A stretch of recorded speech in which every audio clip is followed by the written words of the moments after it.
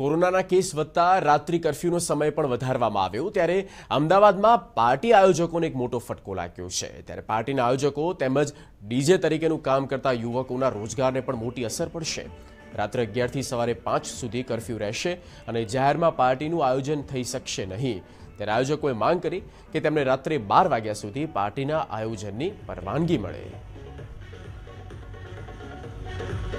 ગુજરાત રાજ્યમાં ફરી એકવાર કોરોના કેસીસે માથું ઉચકું છે અને દિવસે દિવસે કેસીસમાં વધારો થઈ રહ્યો છે.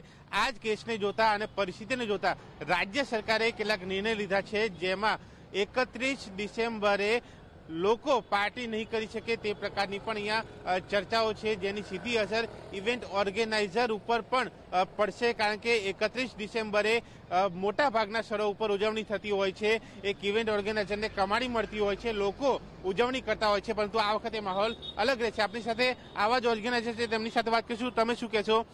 કયા પ્રકારની ઉજવણી તમે કેટલા વર્ષથી કરો છો? ને હવે શું? કયા પ્રકારની તૈયારી? હું પોતે ડીજે કબીર છું. હું છેલ્લા દસ વર્ષથી આ સેલિબ્રેશન કરતો હોઉં છું. અમદાવાદને હું સારી સારી પાર્ટીઓ આપી ચૂક્યો છું. આ વખતે બી મેં થોડું પ્લાનિંગ કર્યું હતું પણ સરકારની ગાઈડલાઇન પ્રમાણે અને સરકારને જાહેરાત પ્રમાણે એમને માનમાં રાખતા અમે આ વખતે ઉજવણી કેન્સલ કરી છે. પણ અમે વિચારીએ છીએ કે ઘર ઘરના જે અમારા જે રેગ્યુલર બધા ફ્રેન્ડ સર્કલ છે એ લોકો માટે ઘર ઘરની પાર્ટી કરીશું અને સરકારને ગાઈડલાઇન પ્રમાણે અમે એમને જોડે ચાલીશું. શું અસર શું પડશે આની? અસરમાં એવું છે સાહેબ કે કોઈ એક ડીજે હોય કે કોઈ ઇવેન્ટવાળો હોય તો એને ડીજેનો મેઇન દિવસ થર્ટી ફર્સ્ટ ડિસેમ્બર હોય છે. આખા વર્ષમાં એક જ દિવસ હોય છે. જ્યારે જે એનો ભાવ લઈ શકે છે ત્યારે એ ભાવ નથી મળતા તો આજે આખા વર્ષ ઉપર ઇફેક્ટ પડશે અમને. તમે તમે શું કહેશો? તમે પણ આની સાથે જોડાયેલા છો.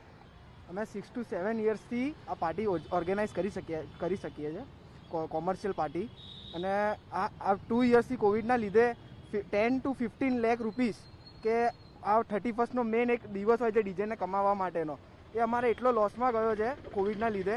અને અમે એટલું જ કહેવા માગીએ છીએ કે અમે ટીવી નાઇનના માધ્યમથી એટલું જ કહેવા માગીએ છીએ કે અમે ગુજરાત સરકારને એસઓપીનું જે પાલન જે કરીએ છીએ જાહેરનામું એ અમે પાલન કરવામાં આવશે. તમે છૂટછાટની માંગ કરી રહ્યા છો કે થોડી છૂટછાટ આપે શું? હા થોડી છૂટછાટ આપી શકે કે ઇલેવન ઇલેવન સુધી કે કમસે કમ ઇલેવન સુધી જે આપણે જાહેરનામું બહાર પાડ્યું છે કરફ્યુનો ટાઈમ એ ત્યાં સુધી તો અમને સેલિબ્રેશન કરવાનો ટાઈમ આપે થર્ટી ફર્સ્ટ સુધીનો. તમે કયા પ્રકારની ડિમાન્ડ કરી હું સરકારને એવું કહેવા માંગીશ કે અમે સરકારને દર વર્ષે સાથ આપીએ જ છીએ. તો સરકારે અમારી ઇકોનોમી ઉપર થોડું ધ્યાન આપવું જોઈએ કે ડીજે આર્ટિસ્ટ કલાકાર એ લોકોને એક દિવસ મળતો હોય છે. તો અમે બી સરકારને એ માંગ કરીએ છીએ કે બાર વાગ્યા સુધી એટલીસ્ટ અમને સેલિબ્રેશન કરવાનો ટાઈમ આપે. આજે નથી, અમારા માટે, આખા યુથ માટેની આ વાત છે.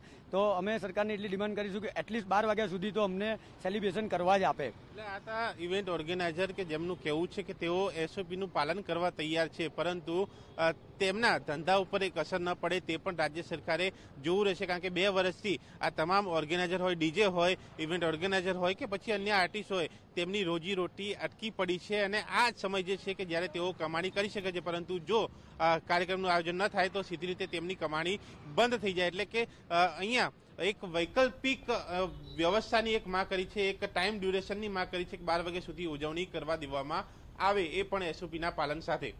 કેમેરામેન દીપકસિંહ સાથે દર્શન રાવલ ટીવી નાઇન, અમદાવાદ.